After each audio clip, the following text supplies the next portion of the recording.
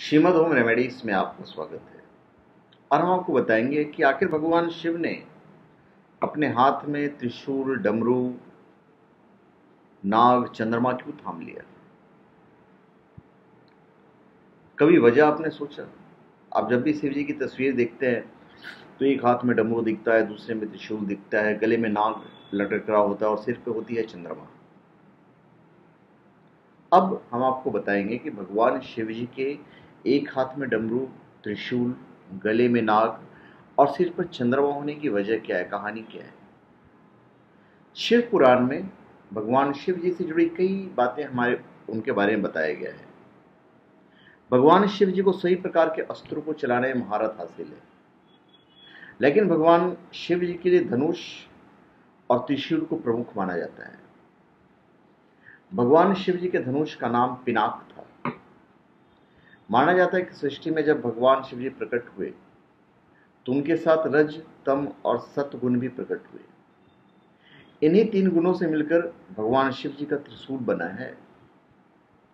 जब सृष्टि में सरस्वती पैदा हुई तो उनकी वाणी से ध्वनि पैदा हुई। लेकिन ये ध्वनि सुर और संगीत विहीन थे। आवाज़ में संगीत पैदा करने के लिए भगवान शिव जी ने चौदह बार डमरू बजाया और नृत्य किया। इससे ध्वनि व्याकरण और संगीत के ताल का जन्म हुआ। इस तरह भगवान शिव जी के डमरू की उत्पत्ति हुई। वहीं भगवान शिव जी के गले में लटके हुए नाग के बारे में पुराणों में बताया गया है कि यह नागों के राजा वासुकी हैं। नाग वासुकी भगवान शिव जी के परम भक्त थे। जिसके कारण भगवान शिव जी ने उन्हें आभूषण की तरह गले में लिपेटे रहने का वरदान दिया। भगवान शिव जी के सिर पर चंद्रमा भी दिखता है।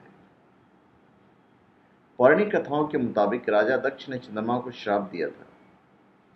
इस श्राप से बचने के लिए चंद्रमा ने भगवान शिव जी की कई सालों तक घोर तपस्या की।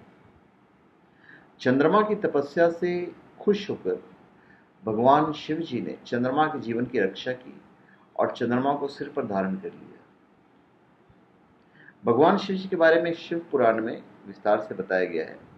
कहा जाता है कि खास करके सावन के महीने में भगवान शिव जी सृष्टि पर राज करते हैं। क्योंकि भगवान विष्णु इस महीने में पाताल लोक में चले जाते हैं। तो धन्यवाद। आप हमारे चैनल पर सब्सक्राइब करें और अपने कमेंट दीजिए। धन्यवाद।